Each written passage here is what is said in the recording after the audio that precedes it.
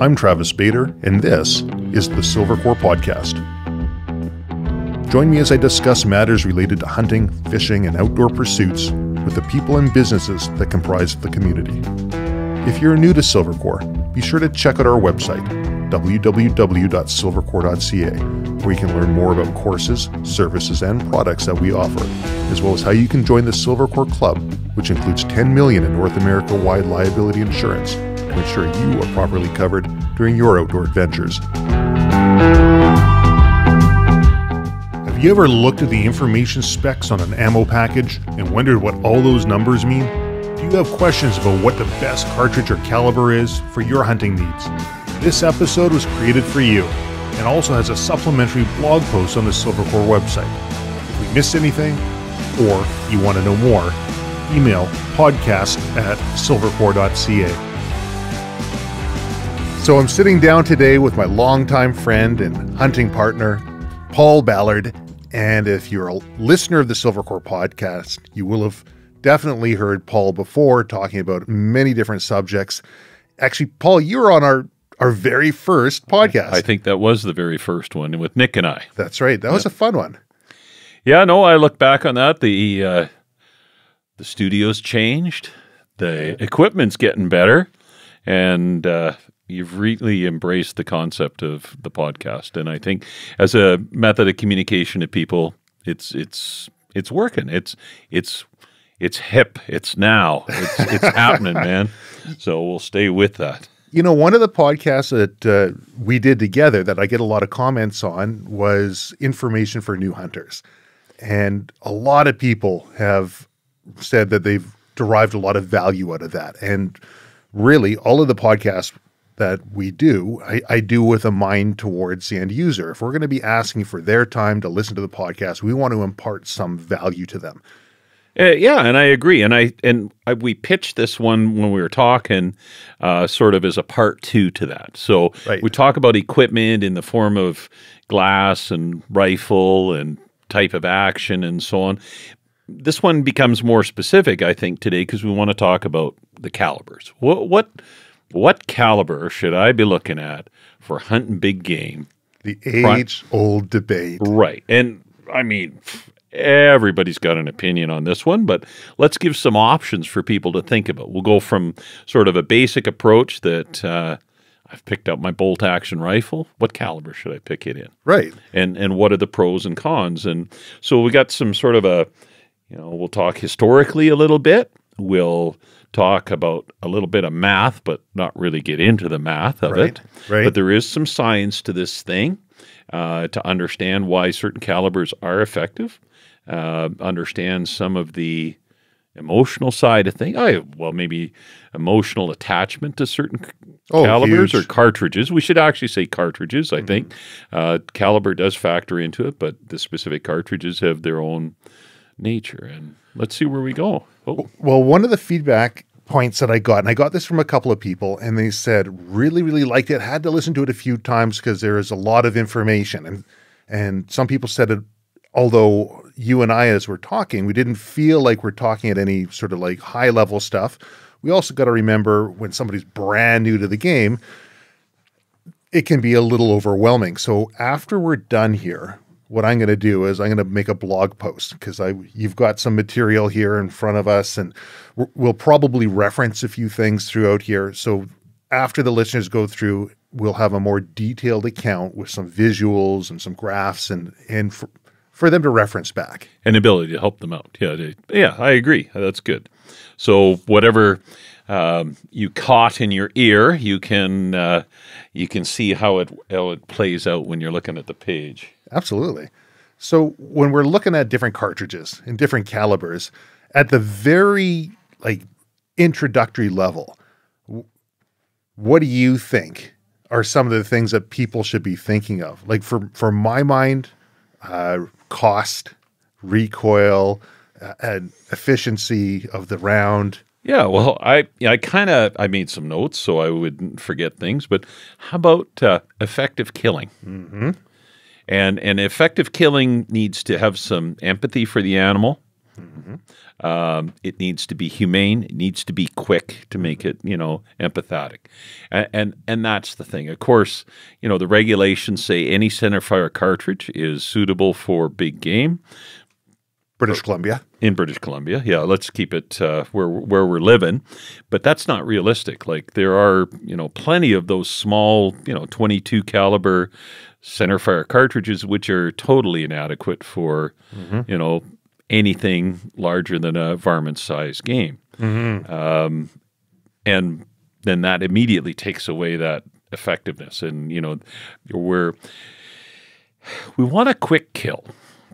Mm. We and and there are certain things between you know not only cartridge selection but some to do with bullet placement that can lead to that humane quick kill. Right there's some understandings about bullet placement that might be reflected upon the cartridge you choose. Mm-hmm. That uh, so when you're looking at maybe using a lower velocity uh, cartridge, still a centerfire, adequate for the the job, uh, because some of the characteristics, the terminal performance, what it does when it physically hits uh, a flesh target, what it, what's going to do. So there are these things, but again, uh, effective killing, absolutely understanding the uh, you know the need for follow up shots, which has to do with recoil, like you were saying. Mm-hmm.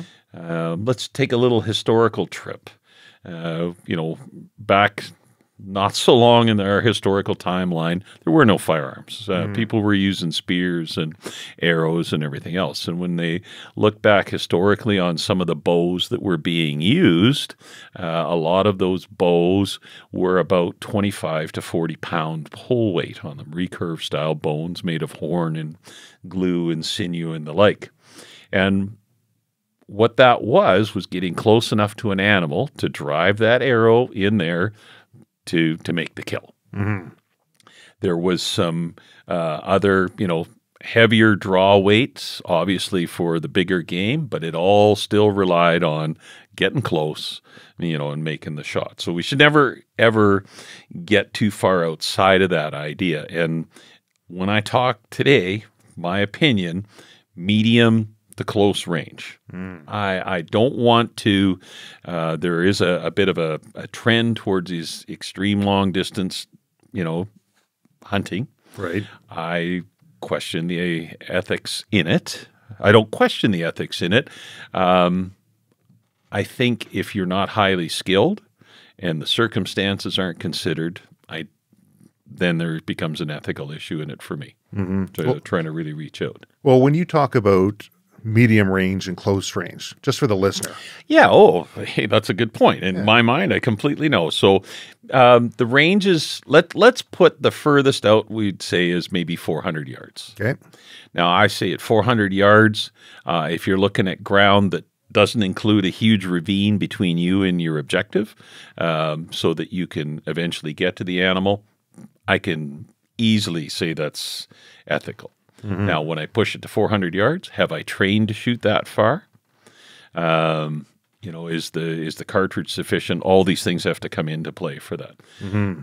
Realistic hunting ranges, my own experience, I think are under 200 most of the shots I've made. And in fact, a remarkable number of those shots have been right in that 60 to 100 yard range. Right. And uh, you know, depends on on the terrain that you're in, the habitat the animal enjoys all, all these things that are there. But uh, to be ethical, uh, to try and keep it at 200 or less is good. Right. Be prepared with shooting sticks, rests, all the other things to steady that shot if you're going to push it beyond those ranges. Because there's a few considerations, not even just including the the cartridge and the caliber and the performance of at that distance if the animal doesn't go down right away, trying to locate again afterwards. Oh, totally. And and I've watched a few, you know, uh, shows where they're shooting out to seven, eight hundred yards, and they're doing it across a ravine. Mm. And so now an animal that's wounded at that kind of distance, the time it's going to take for you to get to where the animal was actually hit, mm-hmm. and then commence to follow a blood trail from there that's the part that I, I really, you know, that circle doesn't square for me. Mm-hmm. And, and some animals are going to leave more of a blood trail than others if they got heavy. Some cartridges are going to leave more of a blood trail, right. and and how that bullet expands within the animal, it may not exit, mm-hmm. and you know, so it's just it's out there. Well, this is exciting. Okay. okay. Well, let's try and keep this at the target audience here is if you're a, a you know someone who's in the first couple of years of hunting or looking to, to get out there and you haven't really made the decision what cartridge you should be starting out with, mm. we want to address that. Or maybe you've been into this for four or five years and you want to branch out a little bit and maybe look at, you know, adding a lever action rifle and, you know, a large bore to that and see, you know, some of the applications. So we can try and cover that as we go through. Did you want to first talk about how animals die so we can kind of dispel a couple of those things before we get into or do you yeah, want to get yeah. into that after and, and one of the things you know what does a bullet actually do okay you know and and how how do you kill it so the bullet does a couple things it makes direct contact with elements of the central nervous system in the animal, the brain, the spinal column, um, and so on, or it makes direct contact with organs, uh, major blood vessels, and so on. Mm-hmm. So, in the direct contact of the bullet in the flesh of the animal, there's a wound channel going to be created. Mm-hmm. Now, the diameter or caliber of the bullet, you know, at even a relatively low velocity, that permanent wound channel, the destruction of tissue or meat, uh, will be roughly slightly larger than the bullet itself, mm-hmm. that permanent wound channel.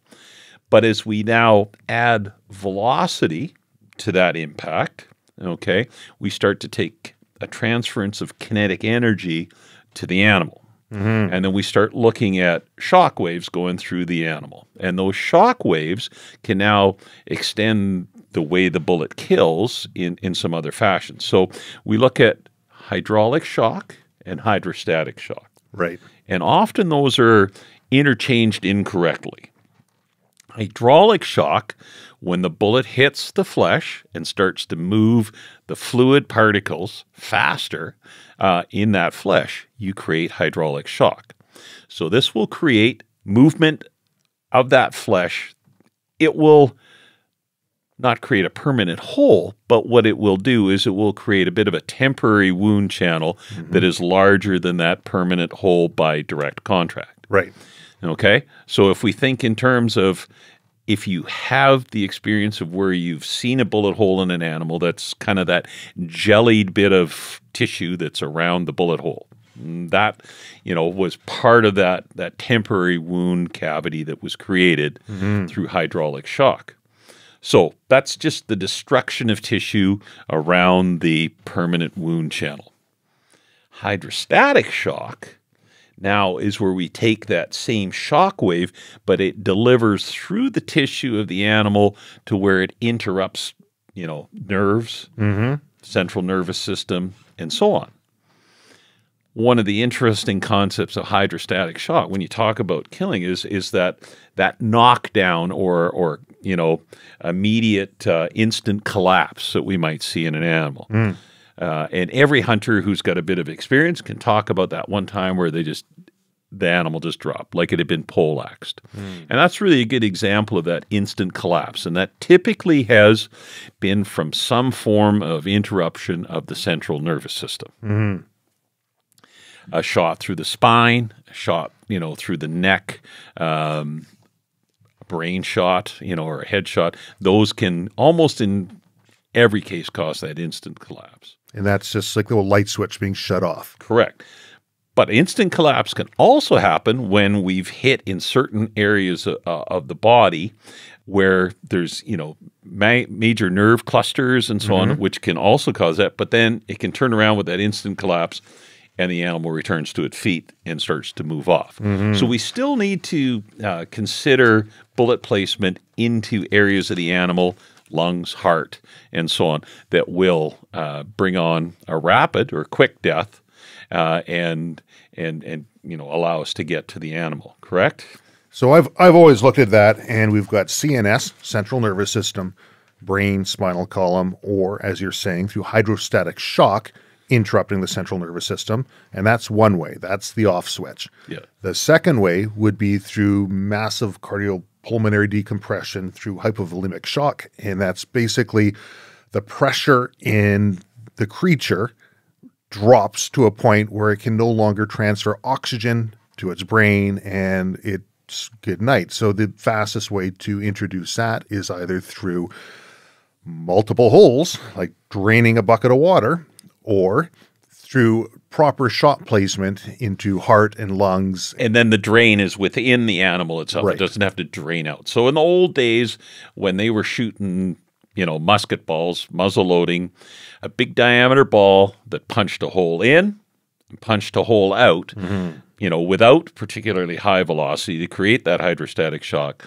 Uh, the bigger the the width of the die of the caliber, you know, the the more efficient it was mm-hmm. to a point. Mm-hmm. And those were non-expanding bullets, right? We got to understand that those mm-hmm. those lead round balls, you know, they would deflect, they would uh, yaw in the animal, which would create a larger permanent wound cavity. Mm-hmm. Uh, the other side to it was eventually they went from round balls to conical bullets. Again, not intended to expand, but certainly capable of tumbling, uh, going into yaw, which would then take the round diameter of the bullet and then turn it broadside, which mm-hmm. would create a bigger wound, and and so on and so forth. Yaw so is not great for accuracy, but no. it's great when it hits an animal. Right, and if the bullet travels accurately and then begins yaw once it enters, mm-hmm. and without getting in too much to the subject, that's a, a military, you know, uh, desirability, particularly in a full metal jacket type of bullet as well. So that that's an interesting one too. So we we've had people talking about Full Metal Jacket and the different theories on that. So originally we had smooth bores and we're throwing different projectiles down, different materials down, and someone said, "Hey, there's lead. It's cheap.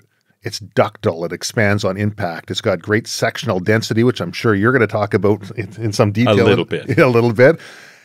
And it's just not super accurate. And then they decided, I know what we're going to do. Let's spin it. Let's spin it like we spin a football when we throw it, and it will eliminate pitch, eliminate yaw, and the inherent obstacles of an object in flight. And they did that by introducing rifling.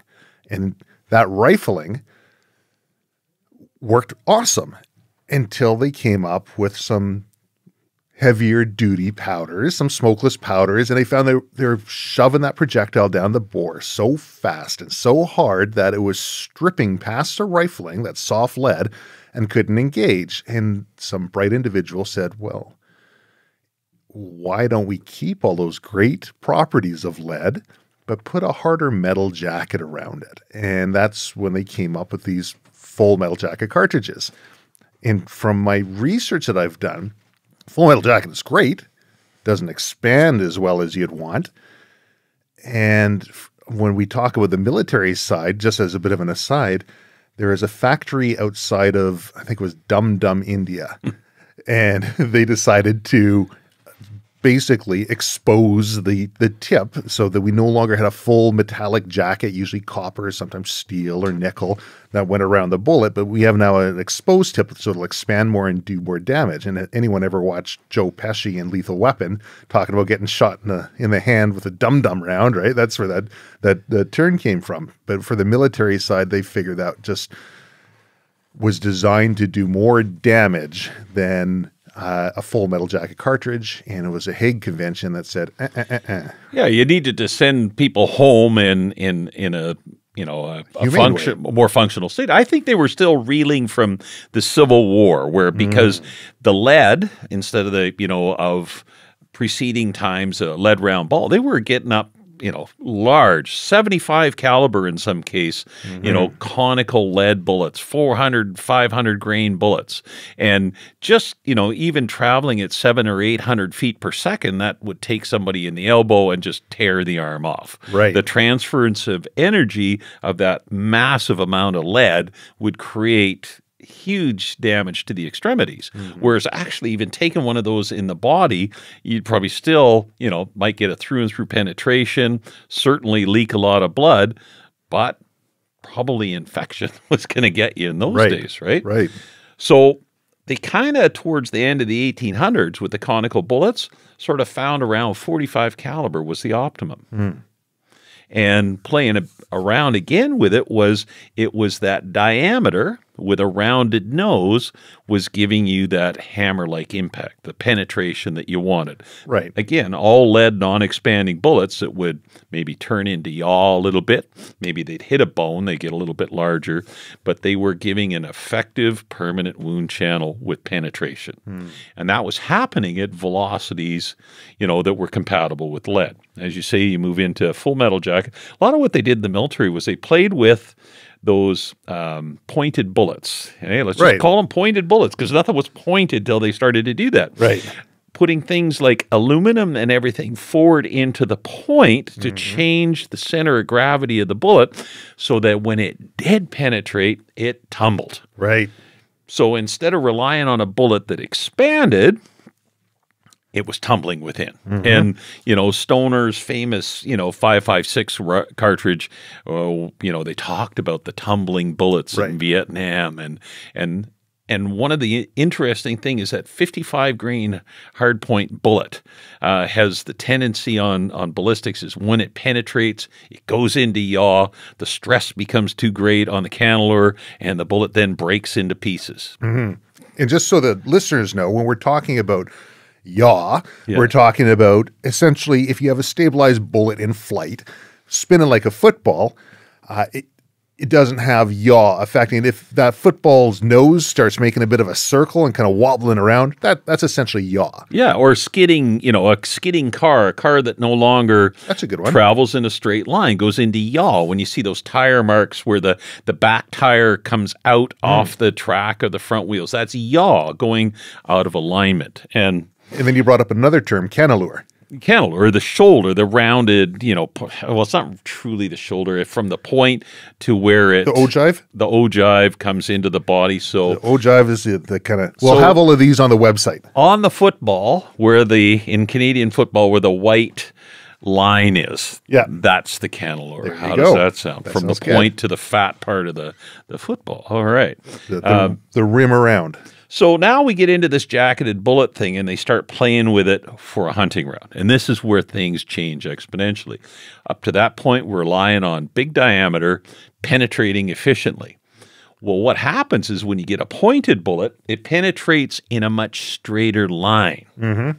So instead of relying on the energy transference of the big diameter, now we're heading for the vitals. And at different angles, we can become more effective. Mm-hmm. So by changing the center of gravity, when that bullet can now become more stable in flight, mm-hmm. but now the tip is exposed either in a hollow point or a little bit of lead at the end there as that now penetrates, the hydraulic forces of the flesh push back against it, and the shoulder of the bullet changes, which means its center of gravity comes back. Mm. Uh, you know, we get like that classic mushroom shape to the bullet.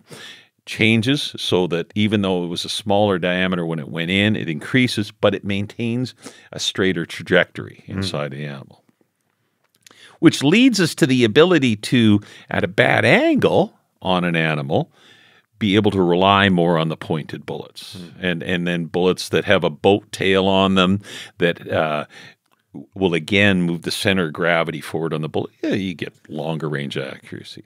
So we we're probably going above where we want to be here. Maybe a bit if we just think about it like a marker and a pencil. Right. So the pencil, you sharpen it up, and it's got nice and pointy, sort of like your they call it a pointed or Spitzer bullet, right? Yes.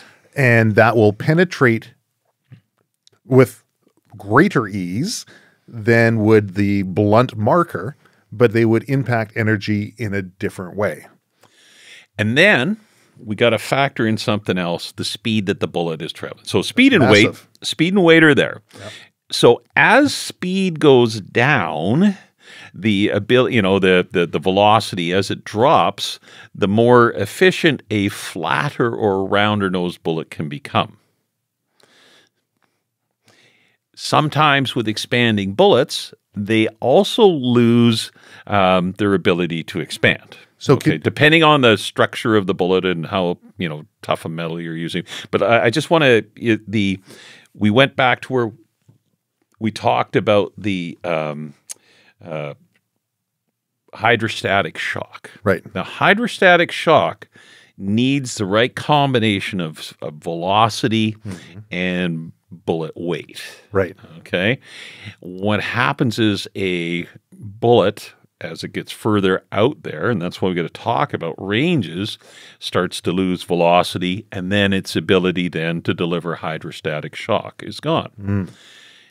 The larger the diameter, in many cases, the more hydrostatic shock can be created at lower velocities. There you go. Kind of like punching the water yeah. with a fist or sticking your finger into the water, you're going to yes. create different hydrostatic shock. Correct.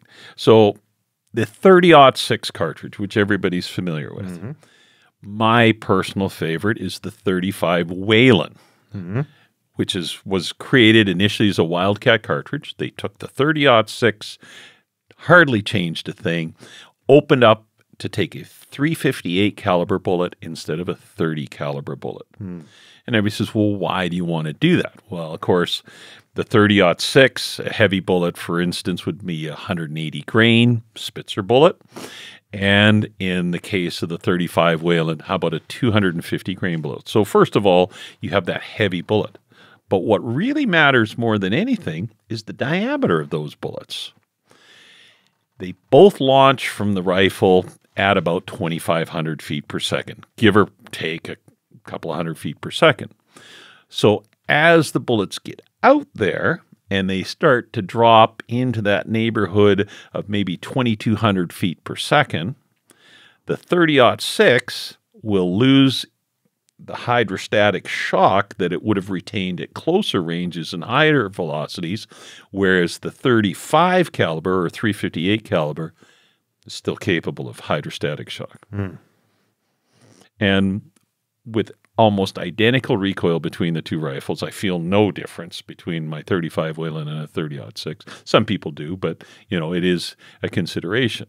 And it seems to be uh, for hydrostatic shock, bullets from 243 caliber to 338 like to be going more than 2,600 feet per second to mm. do hmm. that transference.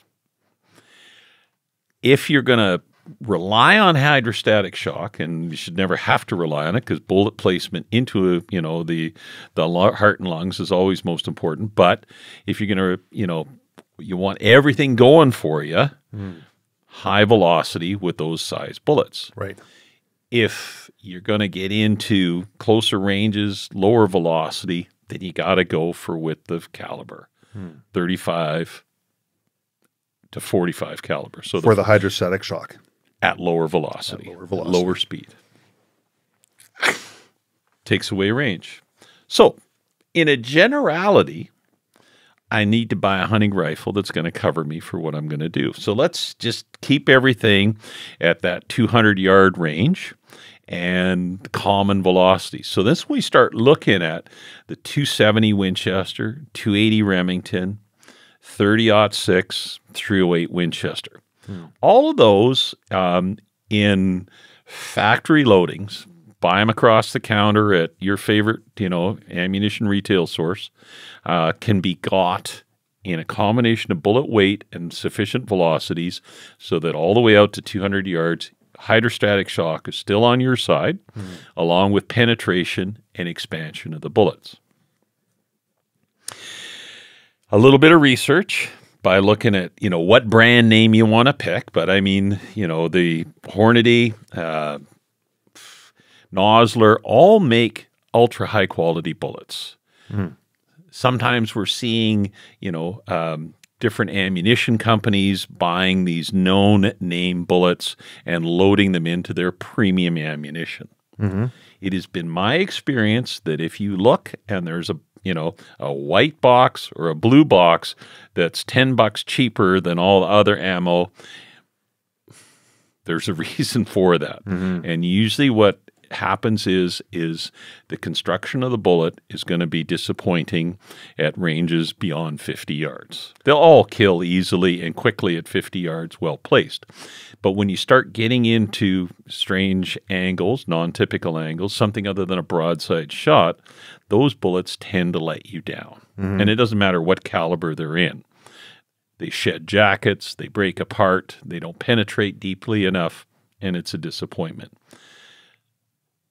there is all sorts of theory about, well, this bullet is really good all the way out to 200 yards and then it falls off. And that's pretty much, you know, the normal thing. But then there's other bullets where people talk about them at 400 yards, the bullet performs famously, but inside of that, over penetration, no expansion, and, so on and so forth. And it it it behooves behooves. I like that word. Yes, yes. You know, it will pay off in spades for you to do a little bit of research and and, and put together. But the optimum is uh, a well constructed bullet, like an AMAX bullet from you know Hornady, uh, that will take you out there to those distances ballistically. Uh, it has a good ballistic coefficient. Uh, it will fly well. It won't go into yaw, and it will expand when it you know hits at 50 or it hits at 250 or 300 yards. so you, are introducing some new terms like ballistic coefficient, and I think maybe we touch on that after. But maybe I'll just do a quick summarization of we'll if how my mind works. I usually like to break things down into small parts, right? And yeah. then I'll take that one small part and then I can branch off after. So if we talk about bullet, right? So we're not even talking about caliber or anything. We're just talking about the bullet construction. And something a hunter would want to know about would be how is that bullet constructed? So you already talked about a jacket coming off, and so that would be the full metal jacket on some of your the traditional. You've got an extruded metal with lead inside it. Uh, when it hits an object, if it falls apart inside the animal, your that energy that it would be transferring is going to be a lot less. You're going to have fragmentation going through, which could work in your advantage. But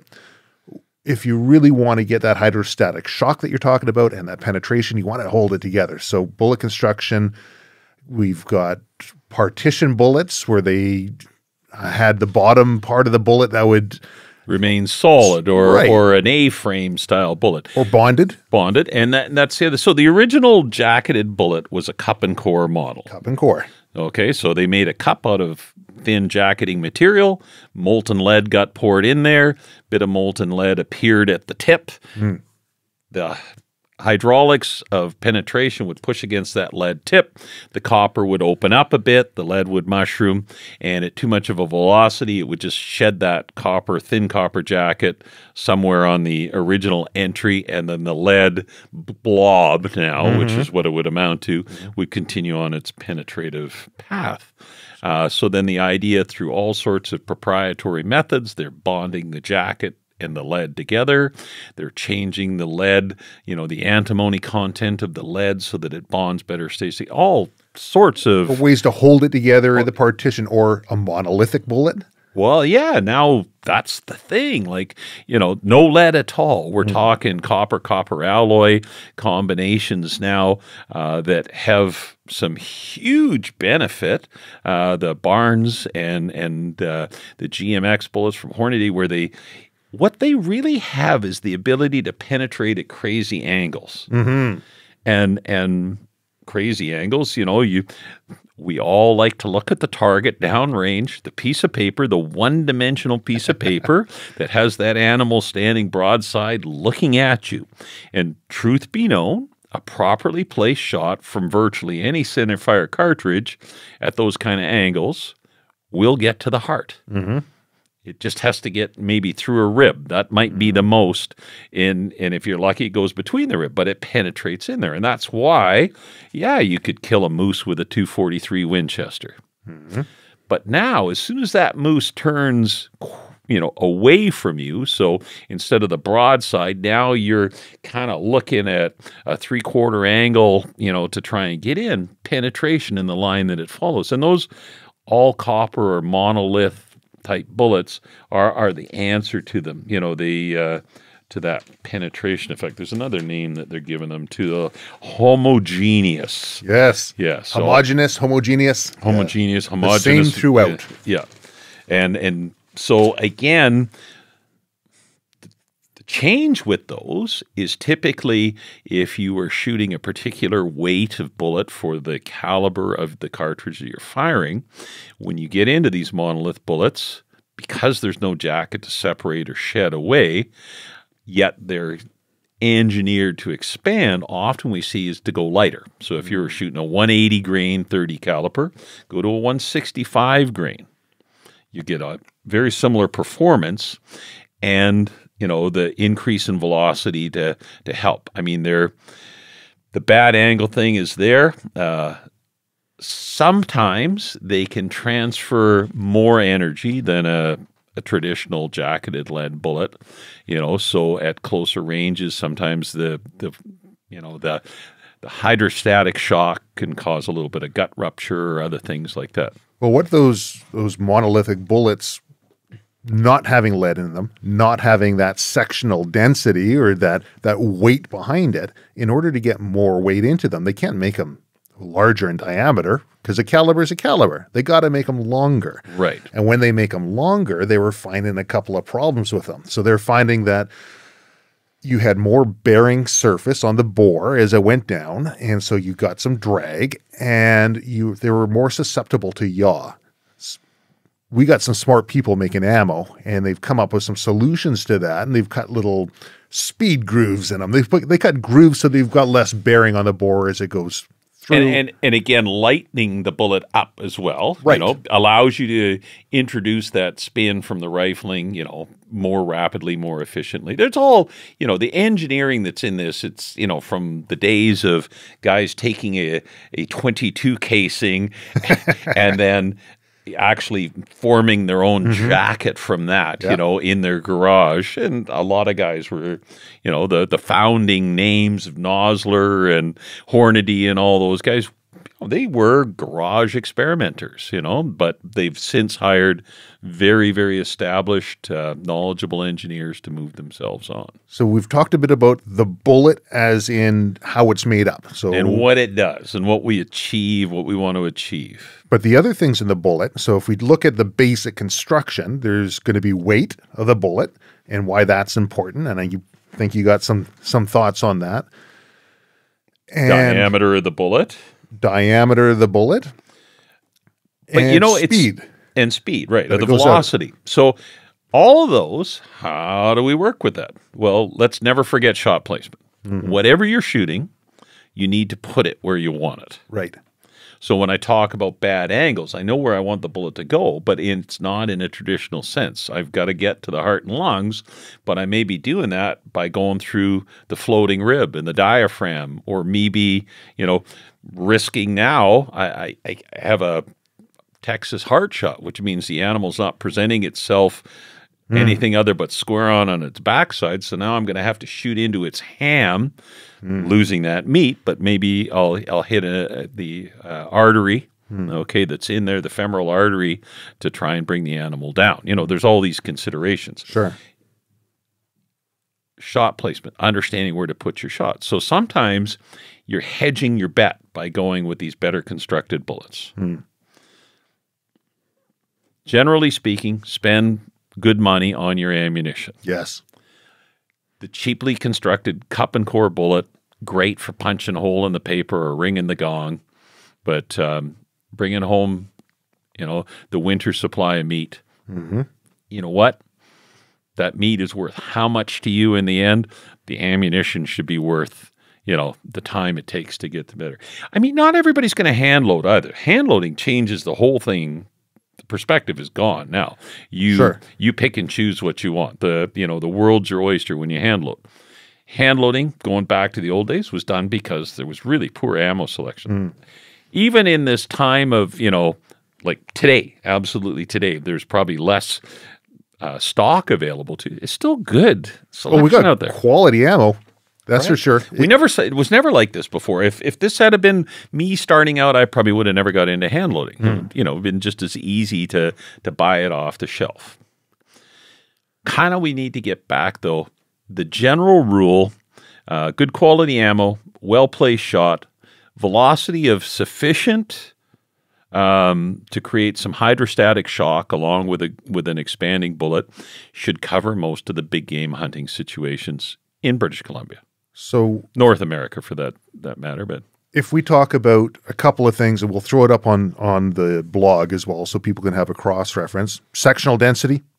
Sectional density is a um, when you when you look it's it's it's a numerical value assigned basically to the penetrative effect of a bullet so without getting into you know measuring its length and its diameter and its weight and and squaring those and you know all the stuff that the easiest way to really think about it is how heavy is it compared to another cartridge made out of something different, another bullet made out of some maybe lighter material. Yeah. So sectional density is the uh, the ratio of an object's mass to its cross sectional area with respect to a given axis, if that makes sense, right?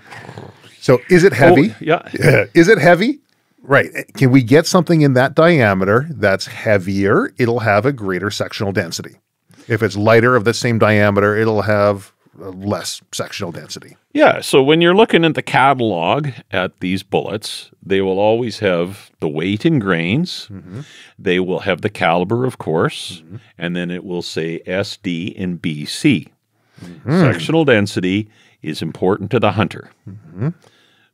BC is important to accuracy. So That's... ballistic coefficient is important. That number is important to you. you. That low ballistic coefficient number, basically how slippery that bullet is, how aerodynamic it is, becomes important for distance. So the bigger the number, the more aerodynamic that is for for for ballistic coefficient just how well it can, how streamlined that bullet right. is. So, and that's when you're talking about the pointed ones being more streamlined, or the boat tail. And the boat tail in. with the and center of gravity and everything else, you know, is is a factor there to make that slippery bullet get out there and travel on the line that you want. Right. Sectional, so ballistic coefficient gets it there section density is now what you're going to rely on once, once it, it arrives. There. That's yeah. your terminal so, ballistics. Ter- yeah, and ballistics are always, you know, internal, you know, in flight, terminal ballistics. You know, you can look at it all different ways, but sectional density has a lot to do with termination. Man, you got a lot of information. Yeah, you know there is, and, and, and we got we got to make that's what this. blows it away. So now, getting back to it, yeah, good sectional density, uh, and it it typically uh, all game is looked at in North America in particular as you know class one, two, and three, and four. So mm. class one, small game, uh, coyotes, varmints, uh, you know, bunnies, that sort of stuff. And so uh, relatively low sectional density is just fine. So mm. uh, something like a 223 uh, round, um, any of those are just fine. Mm. Then we move into class two, so medium sized game. Antelope, they always throw antelope in there, but we don't have any in BC. But, um, you know, something in the domestic goat size right. slightly larger. So everything from white-tailed deer, black-tail, uh, mule deer, uh, black bear uh, would be in that medium size. And so a sectional density that typically is in that range of, oh, about, you know, 250 works nice. You know, 250 and a little bit higher. Uh, sectional density, um, you know, going on and, and up from there. Um, you know, it, we have a range. I mean, basically, sectional density from 220 to oh, maybe two, you know, 200. That's all good for that medium game. The next large or class three game, that's moose and elk. Uh, when you know those type of animals, you want a greater sectional density. So the high 200 numbers for sure. You want to look for something that's going to come in 275 or better, 0.275 and better. And, you know, some of the shockingly small calibers like this 6.5 has amazingly good sectional density. Mm-hmm. And that comes from this long pencil bullet uh, that has a great penetrative effect. Uh, but the classics, you know, when you compare um, one of the greatest cartridges really in the Magnum class is the 338 Winchester Magnum. Mm. Great sectional density in all ranges of its bullets. The 300 Winchester Magnum, another great one right across the board for everything from, you know, uh, depending on the bullets. But getting back to the standard classes, uh, and we look at the heavier weight, the 308 Winchester, 180 grain, 30 6, uh, 200 grain, you can get good sectional density, and that's a really adequate cartridge for moose and elk. So let, let's break this down a little bit. And let's say we've got something that's heavy, right? Let's say we've got a bowling ball and we rest that bowling ball on our foot. Yeah. That's not going to do too much damage. Let's say we pick it up a foot or so above our foot, we drop it. Okay, that's not going to feel too good and we pick it up above our head and drop it on our foot. We'd be lucky if we don't break our foot. So we're dealing with gravity. Gravity affects everything at the same rate 32 feet per second or 9.8 meters per second squared per second per second. So that is creating velocity in the bowling ball as it's coming down. So, just one way, I guess, kind of look at it let's say we're talking about a projectile now. So we've talked about the sectional density. We've looked at different bullet construction.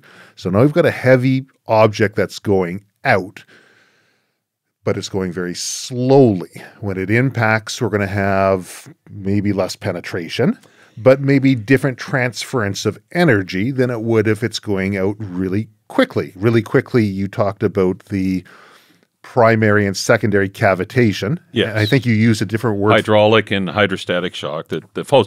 So if we go to a very big, heavy, slow bullet, we get the hydraulic shock is okay. still there. Okay. Yep. And sometimes penetration with those heavier bullets is just the fact the retained energy. Mm. Harder to slow it down. Okay. So you might be able to, your kid comes racing at you on his BMX bike and he's coming at you at 20 kilometers an hour, and your kid weighs 60 pounds, and the bike weighs 40 pounds, and you grab him by the handlebars, and you can stop him, right? Right. right. Okay. So now the kid is now grown up a little bit and he's on his 175cc motorcycle mm. and he's coasting at you. Now the motorcycle weighs a couple hundred pounds, the kid's 150 pounds. Try and stop that at the mm. same velocity right. when it gets there. So, you know, we are seeing how that weight of the bullet can go on. Right. So let's say a 35 caliber to a 45 caliber bullet driven at a lower velocity, maybe or you know less than 2,000 feet per second. Hmm. You get that good penetrative effect by that heavy bullet. Right. Now another thing you can do to get something out of that bullet is to increase the frontal surface of the bullet, make it a, a round or a méplat. Right. French word. We got to give credit to the French. We don't give enough credit to the French. They, they were, get enough credit. They Come were on. the ballistic forerunners of the 1800s. They were. And they were coming up with the idea of a of a 60% flat frontage of the overall diameter of the bullet for efficiency, transfer of energy at low velocity. Hmm uh, followed up by the great Elmer Keith in the you know when his development of the 44 Special into the 44 Magnum But as a pistol caliber hunting bullet. The idea was non-expanding, all lead bullet, big flat front, 60% of the overall diameter, mm. which puts us into this. Hey, I want to get a close range rifle and you know you can get a lever action traditionally everybody looks at the 30-30 the 3030 Winchester killed a lot of game in North America, mm. all kinds.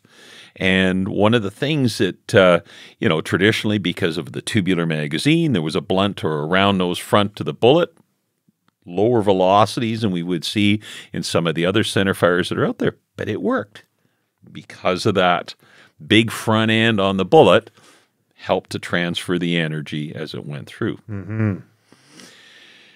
44 Magnum lever action is a shockingly good close range, and I mean, and with an all lead bullet, shockingly good for you know the sub 100 yard ranges. Really not so good once we push past 100. So when we look at weight and we look at speed, the interesting thing with speed is that you square the energy essentially. Right. So if you double the weight of your projectile going out, you'll double the energy transfer. But if you double the speed, it's that speed squared. And that's you can get greater penetration with greater speeds. And I think this is where a lot of people start the difficulty that people have is number one, they start looking at the physics and they look at the math and they're trying to apply that to something that might be a moving or stationary object at unknown distances with unknown makeups and all of this extra stuff kind of comes in and then it becomes the the great debate. So hoping not to have the great debate with the, the listeners here but just letting them know some of the variables that kind of come into place. I mean we've talked lots about it and like i say let it but now let's take the great debate right. and dumb it down. Yes. Yes. Okay so what should i buy? Well See that 30 6 rifle right there? You like it because it looks good. It's a high quality, you know, modern bolt action 30 6. You don't have to look any further, son. You're there. There you go. You got it. You got that's it. the short answer. And that is the short answer. And uh, but then the next answer is, well, how about that 308? Why should I buy that? Well, absolutely no reason whatsoever. What's the main distance or difference between the 308 and the 30 6? It's that heavy bullet thing in the end. And what is so we've got three laws from Newton, right? What it, first law is an object in rest tends to ta- stay at rest, an object in motion tends to, tends to stay in motion unless affected by some other force. Uh, law two is to do with the uh, energy, essentially. Uh, it's the, the amount of acceleration of a body is proportional to the acting force and inversely proportional to the mass of the object. And third law is one that everyone knows is for every action, there's an equal and opposite reaction. So law two and three play into this decision because recoil. And you know, I look at my Chuck Hawks recoil table here, and let me just see what he oh see what he assigns to the 30 6 as opposed to the 308 Winchester. Yeah, Chuck was a pretty prolific writer, wasn't oh, he? Oh yeah, and I mean, I think he he actually stole a lot of the stuff too. But as and let me just put everyone in, does. Let me just put in a plug. If you got a question relating to firearms or fighter aircraft, you just put that question in and then add the words Chuck Hawks, and you will come up with some plain language information of great value. Okay, so let's go hunting with our uh, 308 Winchester 180 grain bullet uh, being driven at 2,800 feet per second. The recoil, felt, which is felt recoil, uh, gets an assigned number of 17.5. With the 30 6 at 180 grains, uh, it's 20.3. So let's go, for instance. So you're getting a bit more recoil. A bit, and really not much. So if you take it down to um, the recoil that you would get from the absolute smallest uh, center fire cartridge, uh, like 17 Hornet or 218 Bee, you might get 1.3 or 0.7 felt recoil, which is nothing. Absolutely nothing. nothing. Uh, barely uh, over a 22 long rifle. To go to the other end of the scale, and let's go for kind of a common, the 375 H and H Magnum, mm. a long-lived uh, big, heavy hitting Magnum, it's going to rate about 37 to 40 on that scale. I think that's your minimum for big game hunting over in Africa. yeah, in a lot of cases, and you know the 375 H and H, depending on how you load it, will cover everything from dik-dik to you know Cape Buffalo, mm. and uh, you know they they it's all about what you load in there. Mm. But you know, as generalities speaking, you know, with recoil, so recoil should be a consideration. And honestly, hard pressed to feel the difference between a 308 and a 30 6. And, and I think for a brand new person kind of getting into it, they shouldn't worry about that. The most offensive things from a firearm are going to be the noise, yep. right? How loud is this thing? And putting a muzzle brake on is a surefire way to make enemies with everybody around you because yeah. you're going to hear a lot more noise. And recoil.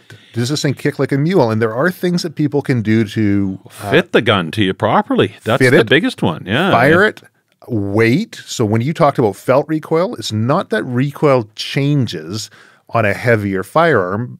other than the fact that it's dissipated over a longer period of time and it makes a hard snap feel like more of a harder shove. And that could make it more manageable as well. And it's a game of length of pull, you know, from the trigger face to the buttstock. We all are, you know, that's established by you from the, your fingertip to the crook of your elbow is your length of pull. So you need to get in there. Um, this is the wonder of today's modern stocks that come adjustable. Right. You know, they either come in a telescoping fashion with a pistol grip on them. A lot of those are quite good. There's other ones where you can take all the spacers out of the buttstock and shorten or lengthen. You can change the height of the comb for your cheek weld to line up. All these things you can, and you should. You should buy that kind of stock. In the old days, you you bought your beautiful piece of, uh, you know, American walnut. Yeah. And then you had the gunsmith, gunsmith whiz off or add to, mm-hmm. put a new recoil pad or whatever the case, and and you move from there. But today, you can do it in the comfort of your home, and you can take you know the Allen keys that come with the stock set and go to the range and practice. And again, I always say, too long of a gun will never work but if the length of pull is too small, a big guy can always shoot it. Right, just big big person. Just you know. just watch how you hold it so you don't punch yeah, yourself in the face with right. your thumb. But I'll, I'll share a tip from an adjustable stock. I remember one of my first adjustable stocks that I got, and I saved up and I spent more money so I can get a quick adjust one. So I can just press the button and I can adjust the comb height. I can adjust the the length of pull on it. And typically they cost more and I thought this was just fantastic until I accidentally pressed that button and everything's adjusted out on me when I needed it the most. I would say if you're getting into it, save your money, spend the time to adjust it to you properly, have something that just hard locks in, and then you're done. Unless you're planning on having a, every one of their dogs shoot it after you, get it set to yourself, save the money. Hey, did I uh, ever mention before that I like simplicity? Mm-hmm. A lot less goes wrong when it's simple. And same thing, I'm dead on with scopes. I don't need a scope that's got a rangefinder built in there and a whole bunch of other stuff to, you know, mm. confuse and attract my attention within the the field. You know, in a long range target shooting competition, who cares? Uh, you know, training as a professional as a sniper, who cares? Holy smokes, that's a deer. I just want to be able to bring that gun up, get a good cheek weld, and mm. away I go from there. So keeping simplicity. But we're getting back to, hey, sectional density. The available sectional density in that 308 or that 30 6 takes you all the way into the class three animal. Mm. No problem. No problem. If you want to get up where you might want to be considering dangerous game, then really, since they took grizzly bear out of the picture uh, here in BC, kind of leaves us with, you know, me. I don't think so much bison is dangerous game, but it's certainly there's a lot of tissue there that you have to consider. Mm. So, of course, the 30 6 is way better at launching a 220 grain bullet uh, based on case capacity and overall case length than you would get from the 308. Mm-hmm. But if you're going to be a moose hunter, you're going to be a deer hunter, you're going to be, you know, a mountain goat hunter. Certainly the 308 or 30 6 are totally interchangeable for the rest. Mm. Maybe you want to get some more range out of it. Maybe you're going to look at a Magnum later. Let's talk about that. But let's stick with these standard calibers. And I call the standards the 308 Winchester, 30 6 Springfield, 270 Winchester. Mm-hmm. You take the 30 6, you narrow the case down at the mouth, you reduce the the caliber, and first of all, you get higher speed bullet. Mm-hmm. So the trajectory of the bullet is flatter. Right. So therefore, you know your considerations as range increases. Uh, there's less issues with hold and and placement. You get a little bit more from the 270 in that in that realm. So uh, a 270 uh, in the heavier grain bullets, a 150 or 140 grain, will certainly get you in that uh, mid range of the 200 numbers in sectional density, like 260 uh, to 275 or better in those weight bullets. So perfectly adequate for moose. Shot moose with 270, no problem. Uh, good, you know, penetrative effect, uh, good expansion on the bullet. It was there. Now, those were moose shot at well under 100 yards. Mm-hmm. Uh, if I was now looking at a moose at 400 yards, would I be thinking that my 270 would be adequate for it? And I might question that a little bit more.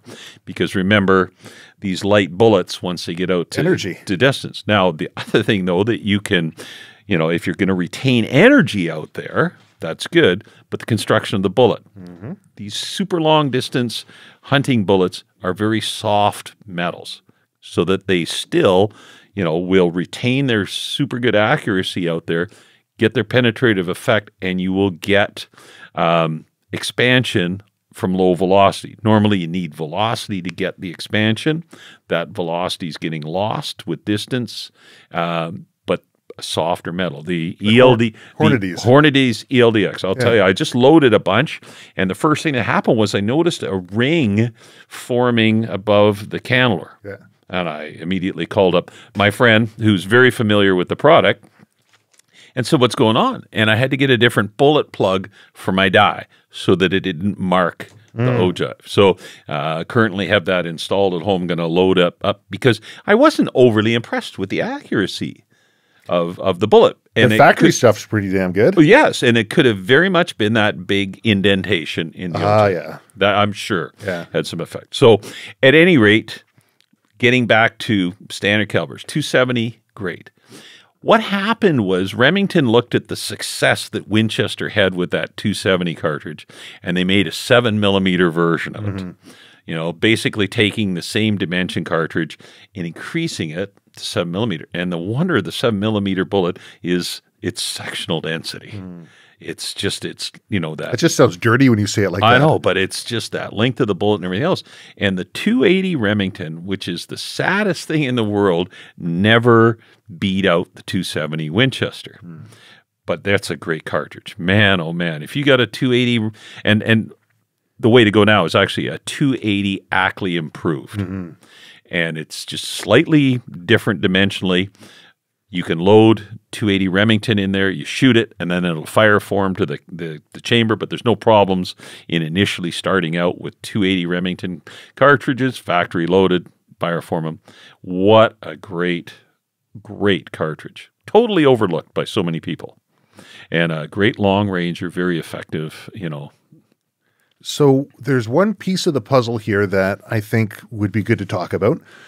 I, I think it was Townsend Whelen who mm. ascribed my hero for energy, uh, a, a, thousand foot pounds of energy for putting down most deer, and I think it was about fifteen hundred for like elk, elk moose, and, and moose and bison. What, when people look at their ammunition that they get from the factory, there's going to be either on the box or they can go online and check it out and they'll have the average energy, right? So you've talked about internal and external and terminal ballistics. Uh, internal ballistics being everything that happens inside the firearm. The primer is hit, the powder is burning, the projectile's going out. It's all internal. We've talked about external ballistics, everything that happens the second it leaves the firearm. Gravity oh, is affecting yeah. humidity, elevation, wind, all, all of these things, and terminal ballistics as it hits the animal. And so they the factory can't account for every little variance or length of barrel or but they'll they'll give you a good fairly close generalization. like grounding yeah. Right. And they'll say hey at this distance here's how much energy your projectile should have. So if you start looking at these charts and you just kind of use the swag system, the scientific wild ass guess, and say, well, it's going to be about this distance. Will it have that energy? Well, I, I'm shooting on a, a deer. Will it have a thousand foot pounds of energy? Well, yes. Guess what? You've got a cartridge that would be applicable for deer hunting within that range. I, think that's a, a quick way and, to and, and that's down. a good yes i totally like that and you know so you look at the box and you know it's leaving at oh 3000 pounds or whatever the case may be. Yeah. But certainly, we like to say it hits with a ton of energy at 100 yards. Mm. So you're still double what you need for a deer. Mm-hmm. At 200 yards, it's hitting, you know, pretty much at a time. You know, 308 hits with a ton at 200 yards, mm-hmm. 150 grain. And then once you push it out to 300, it might be dropping down. Right. And you've still got more than you need with a 308 or a 30 6 in that medium weight bullet loading 150 grain, 165. You, you're, you're good. Mm-hmm. So take comfort in picking the 308. Mm-hmm. Take comfort. Uh, it w- one of the things that has always hurt a cartridge is if it was never adopted by long distance target shooters mm-hmm. or military or military to some degree. But the yeah. 308 oh became the love child for so many long distance target shooters, and then they started to change it around. Oh, good old 30 six became the base for hunting cartridges. Mm. It was the best known, and I think in a lot of cases, particularly in the United States, the best known hunting cartridge. It started as a military. Right. The 270 wasn't a long distance target shooting, but it was a great long distance North American game cartridge. The 35 Whelen, another variant of the 30 6, you know, mm-hmm. the 338 6, another big bullet right. coming out of a necked up 30 6. Never was a long range target cartridge. Well, along comes the 308. And the next thing you know, 243. Mm-hmm. They neck that down. And man, you've got a great long range target shooting cartridge. Yep. 243 gets super popular as a light deer cartridge in addition to a varminting cartridge and long distance. Then the six millimeters start to show up. And, you know, without doing too much, well, in some cases they actually cut the case down. They use the the same head and and completely reformed a case out of it. But then you know, stuff like this, you know, the six millimeters just couldn't get ignored. The 260 Remington, uh, you know, and so on, where this smaller bullet, you know, was doing wonderful things at long ranges for target shooters. Well, and, Europe. Europe, they had the 6.5 by 55, right? Well, yes. And Since here like was this crazy thing. I remember all the surplus rifles that would, people would buy. Guys would turn up with these 6.5 Swedes. That's what everybody called Swedes, yeah. Yeah, Mauser action. And, oh, yeah, kill moose like crazy. And you look at this thing and it, this. Like, how does this kill a this, moose? This hideously long, skinny little pencil bullet in yeah. there. And two words sectional density. Mm-hmm. That's how it worked. So now, today, the new kid on the block is the 6.5. Well, there's it's being surpassed a little bit, but the 6.5 Creedmoor and then the um, PRC. The PRC, the 6.5 PRC. They are using sectional density to the nth degree in a super low recoil, you know, relatively speaking. Mm-hmm. And here's the other kicker Target shooters want repetitive accuracy. They like a nice stiff action. Well, if you take an inch or two out of the overall length of the action, it stiffens up sure. and you know, people say, well, why does the 308 Winchester seem to be a little bit more accurate than the 30 6? Well, it's that stiffness of the receiver. The short action. Short action could be one of those things. Now, there's a huge argument, too, in throwing the length of the action in the heat of battle. And mm-hmm although I have used that as an excuse for myself. I don't think it's true. I really, maybe if you're trying to throw a bolt on a, you know, 378 uh, Weatherby Magnum or something, those that's a long throw on that bolt. There are some places where an inch matters, but yeah. I don't know if it's there.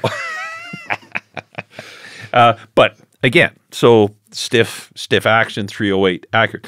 So a lot of people are looking at the 6.5. And when you read the hunting magazines and the writers and everything else, everybody's liking it a lot, but there's more and more coming back about some failures on elk and moose size animals. Even though the numbers look like they should work. Right. A bit of bad shot placement is not helping. I think one of the big things about these, like the 6.5, so a few years back, I reached out to International Barrels. They yes. make premium, high grade rifle barrels. They really good at what they do.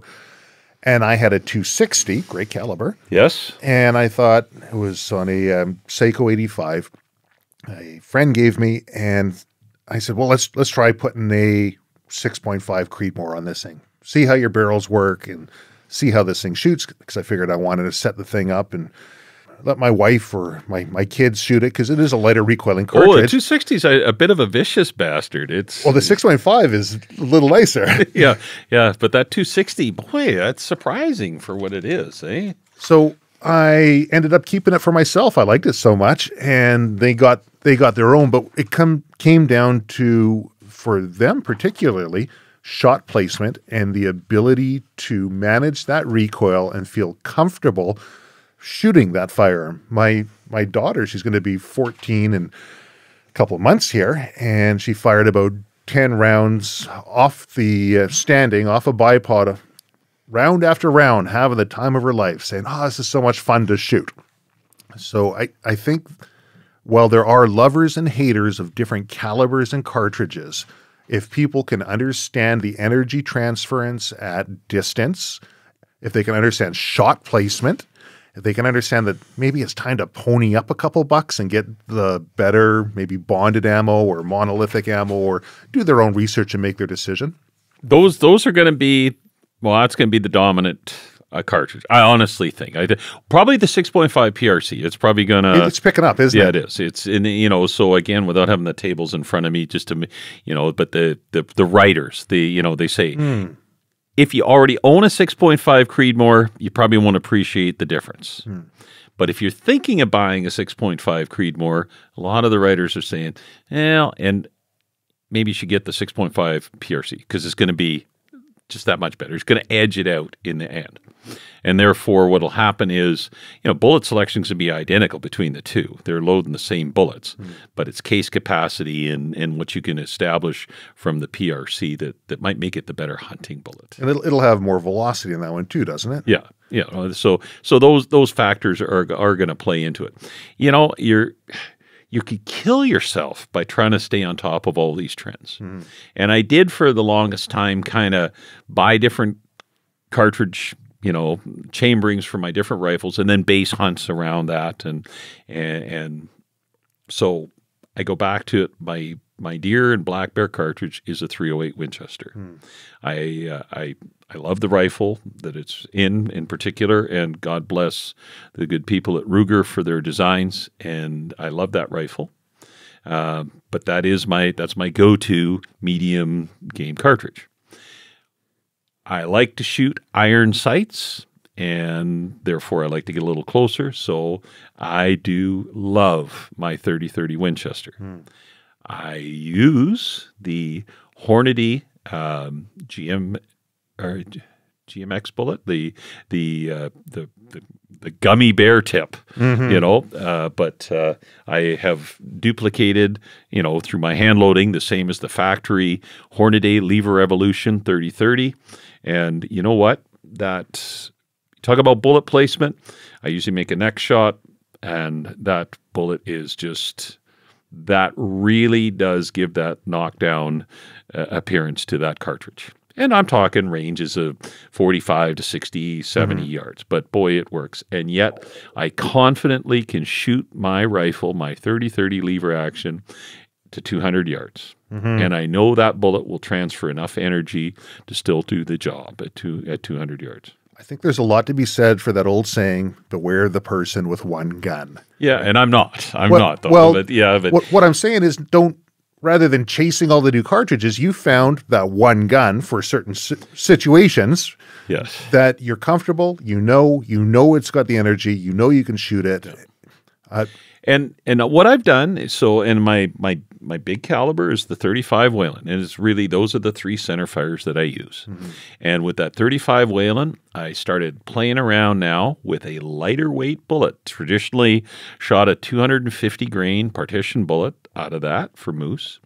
I started playing around with a 200 grain and, a, now a monolith bullet, uh, a TTSX a uh, Barnes TTS uh, TTSX bullet which significantly increases velocity and therefore takes it from a, a 200 to a 250 yard rifle out into more than capable at 350 to 400 yards. Hmm. The retained energy of that bullet is there. The ex, you know, and it's now the diameter of the bullet that gives me what I need.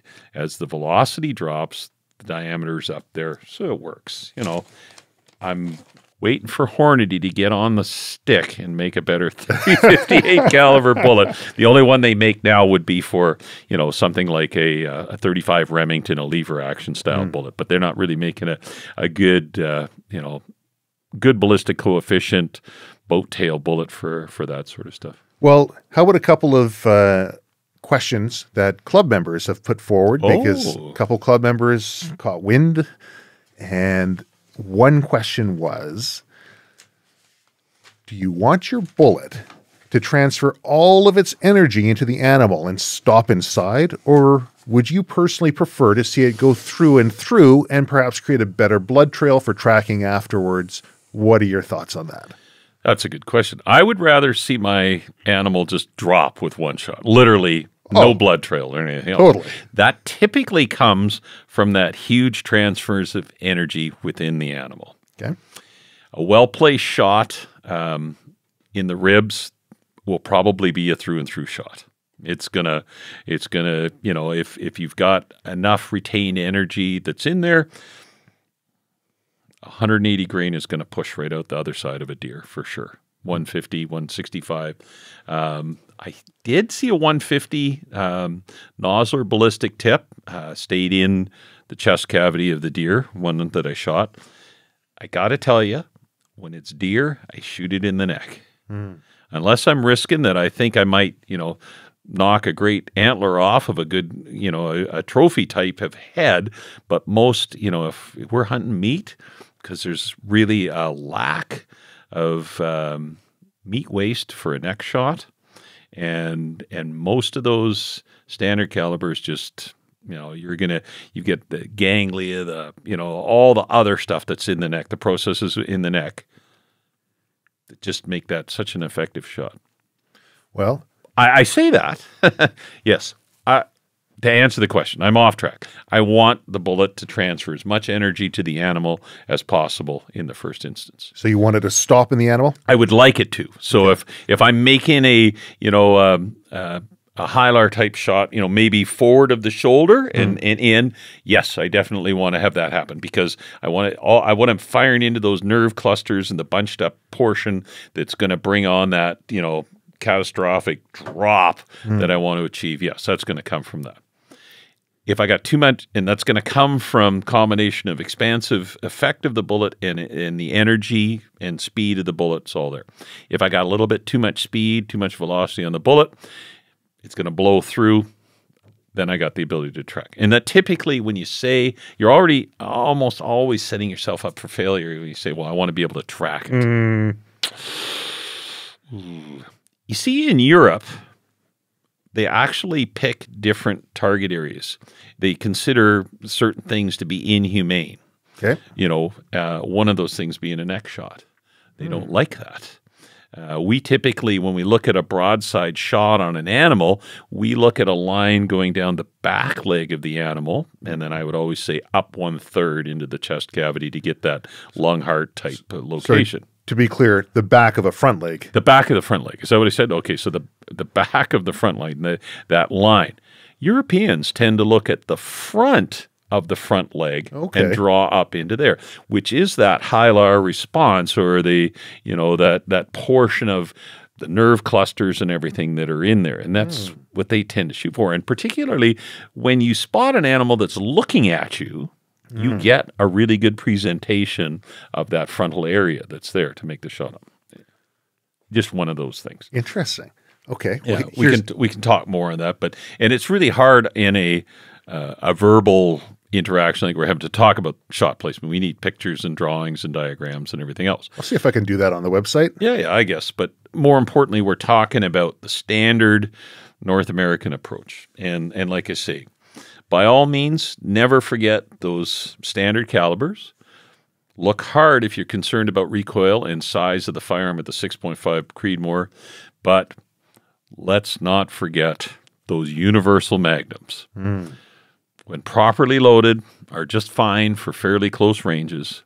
But when it comes down to that 400 yard shot, the retained energy, the expansion of the bullet, man, you know, that universal 300 Winchester Magnum, if the recoil is not an issue to you, that is a great cartridge.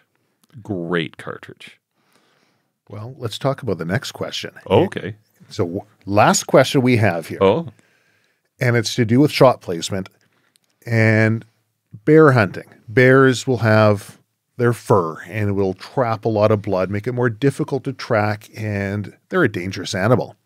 So, some people are advocating for shooting the bear in the shoulder and having a round that's heavy enough to penetrate through that shoulder and do the vitals. They said, sure, we'll lose some meat, but then I don't have to track this bear. I don't have to worry about having this thing maybe not be able to find it or having an angry bear when I do find it. Thoughts on that? No disrespect to black bears. They taste good. They're wonderful animals that are out there. I find them to be a bit of a sissy. Mm-hmm. They are actually one of the easier animals to go down. Mm-hmm. I still go back to I would rather put shot placement and energy transference into it. I shot a black bear at less than 60 with my actually would have been my 300 Winchester short magnum. And that bullet went in, and I'm talking 65 yards. So here's your through and through. That bullet went in, uh, made a perfect entry hole of, you know, 30 caliber, mm. and made an exit of about, oh, eight inch caliber. Mm-hmm. It blew a big three quarter hole right out the other side of the bear's rib cage. I mean, went through the heart and everything else. That bullet just carried everything out with it. That bear, like they do, and I see bears as they will immediately turn around. And this black bear was biting at that exit wound, mm-hmm. weird enough, and then turned and bit at the entrance wound, and then it was dead. Mm-hmm. Bears, when they take off, if they're wounded, usually take off at a very high rate of speed. They leave a pretty good bear trail mm-hmm. that you hmm. can follow, whether there's blood in it or not. Uh, one of the things I see, you know, is you get to where you've actually shot the bear, you get down low, and there's, I always say, if it's tight cover, there's a tunnel. You mm-hmm. can just hmm. see they just clear out a tunnel in the direction they went.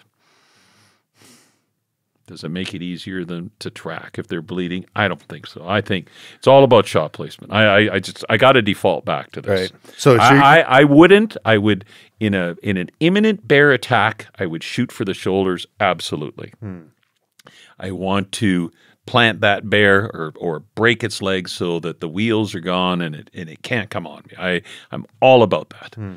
But if I'm going to hunt the animal, I want to I want to drop meat. it. Hey, yeah, I want the meat. I want to drop it. And and again, that's where the hunting part of this comes into. We always say, do I want an adrenaline charged animal for the table? Never. No. Never. Right. I want to get that animal while it's, you know, relaxed, you know, eating, grazing, doing whatever it is and, you know, and even if it's a bear, I don't want I don't want to jack the animal up. So the chance of getting in there spotting, being a little bit patient, let him change his position, if it's a bear that it's not going to give you, you know, you're able to take it, you feel good about the shot, it's not the best shot, maybe you are going to have to try. But we should never think in that. We want the quick kill, not the slow kill. Remember, a bullet can also kill through blood poisoning. That'd be a very slow. right. And and and again, a lot of, you know, a, a poorly placed shot, a gut shot, man, that animal can go yeah. a day or two before it dies. Yeah. So no, you want enough gun for what you're shooting as well. Hmm. And like I say, if you can satisfy that the 6.5 is that gun, it that's probably, you know, in 25 years when, you know, two other guys are sitting here, but they'll only have little tiny microphones that are the size of a grain of rice. okay? And they won't even have headphones on. They'll be implanted but, in But they'll, they'll be talking about, you know, providing the uh, no, let's not say it. But you know, providing hunting is still something that people can do. You know, there'll, there'll, be something again for them to talk about, and they'll be talking about, yeah, when I started, I had the six point five. You know, and boy, it was great. But now I'm shooting whatever. Whatever. All right. Well, does that get most of the information out? That I don't know. Probably way more information that you wanted to put out. But we're always open to question here at Silvercore. I, I hear, and that is the beauty about being a Silvercore Club member is you guys get preferential treatment for any questions so, coming through. Right. So we can blog those. You know, we can put them in writing and we can answer them. We get you thinking here. I really, like I say, continually. How many people have I taught the you know Canadian Firearms mm-hmm. Safety course to who you know say I want to get into hunting? How many people have I taught the core program to? I want to get into hunting, mm. and it's always the same question. It's always the same. Do I get a 308? Do I get a 30 6? You know, do mm-hmm. I, you know, and and really it's those standard calibers. You can't go wrong. Manageable recoil, performance downrange. You're good. You're good. And then when you kind of get, you know, the addiction, oh, start on. looking at the other stuff. Paul, thank you very much for sharing your knowledge with us on the Silvercore podcast. That was my pleasure. And we'll, what's coming next? Ooh.